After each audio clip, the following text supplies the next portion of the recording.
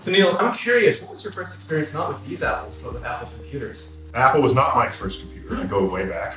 And I, I programmed on a DEC, the DEC, Digital Yeah. Equipment Corporation. I programmed on Sun Microsystems workstations, on uh, in Silicon Graphics, this You were sort of thing. Unix nerd. Yeah, yeah, definitely, definitely. If you're not fluent in Unix, go home, right? So when the personal computers arrived, uh, it really changed the world, and I still carry with me on my phone the original Super Bowl commercial introducing Macintosh in January uh, 1984. So my first Macintosh was purchased by my then girlfriend, now wife. It was a Mac 128.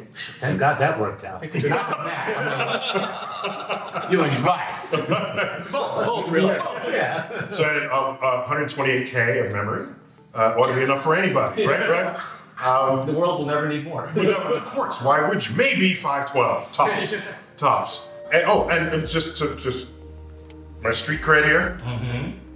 I cut. Oh, I cracked the shell of the Mac.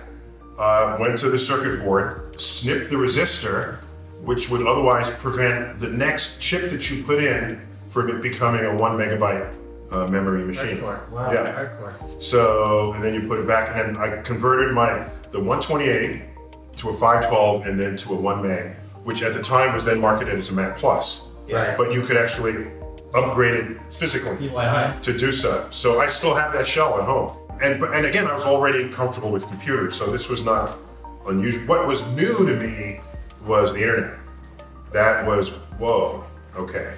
This is that's another sort of game changer. You think of the future, of voice assistants and artificial intelligence and machine learning, and will computers still be a little pocket when we have them inside us? What, what are you looking forward to next? I think that the, the all this talk about joining technology with your physiology. Cyborg Neil. Yeah, I don't I don't see that. And I'll tell you why.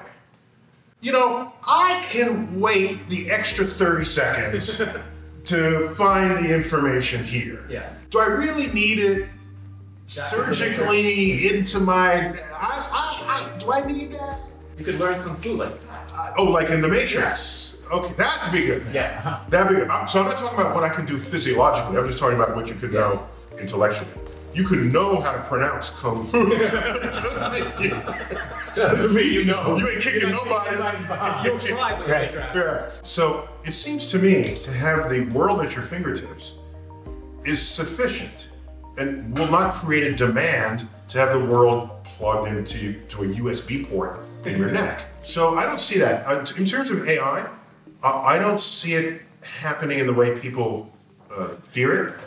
I think AI will just take over all things that we need done. But you're not going to have one AI that does everything.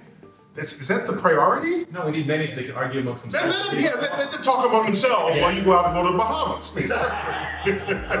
so I, I just don't, I don't see that, and I don't, I don't fear it. But there's something I changed my mind on after I had a conversation with an AI professional. They've already thought about this. It's called AI in a box. Okay, you put AI AI in a box, and, and the reason why you're going to do that is you don't want AI connected to the internet and just taking over the world. So it's safer there. So the question is, can AI get out of the box? And I'm saying no, if I don't let it. And the answer is the AI gets out of the box every single time. Of course.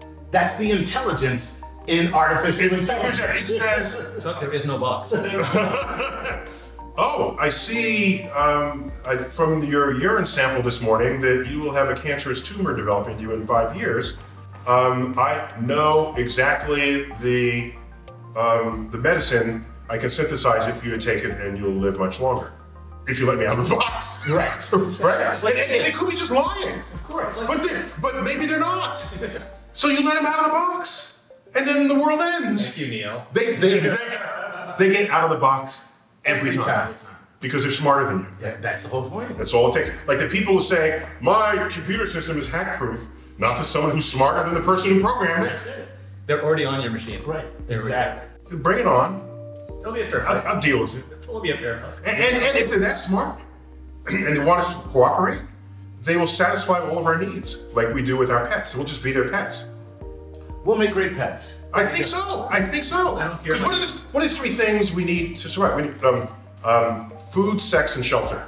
These are three things that are fundamental to the survival of the species. And we invest a lot of time and energy in these three things, right?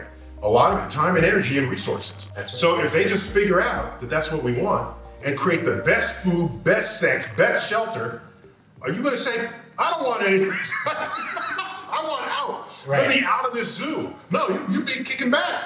Give And so. So. I think we would be, it would be trivial to completely domesticate us in the service of the AI. Maybe that's already happened, and we don't even know it. Oh no, it hasn't happened. Not based on those three things. No, you just picked the wrong zoo. Yeah, yeah, there's a zoo across the, the valley. Oh. Neil, Chuck, thank you so much. Hopefully, it'll take a while before AI domesticates us into pets, but you can domesticate passwords right now. You can get them auto generated, so you don't have to try to come up with complex, strong, unique passwords. You can get them stored, so you don't have to remember them or write them down on sticky notes. And you can get them auto filled, so you don't even have to bother writing them down anymore. You can even share them easily with anyone in your family or anyone in your business, and that's all with Dashlane. All you have to do is go to dashlane.com slash vector, download the free iOS or Android app, and get started quickly and easily today. And if you want more features, you can get secure account backup, sync across all your devices, unlimited secure sharing, web access to all your passwords, and premium support with Dashlane Premium. Use the code YouTube2018 and save 10%. Thanks, Dashlane. And thanks again to Neil deGrasse Tyson and Chuck Nice for joining me for this episode. Make sure you catch their show, StarTalk, on YouTube. But we've been fed up with that old confusion. We shall prevail. On January 24th, Apple Computer will introduce Macintosh. And you'll see why 1984 won't be like 1984.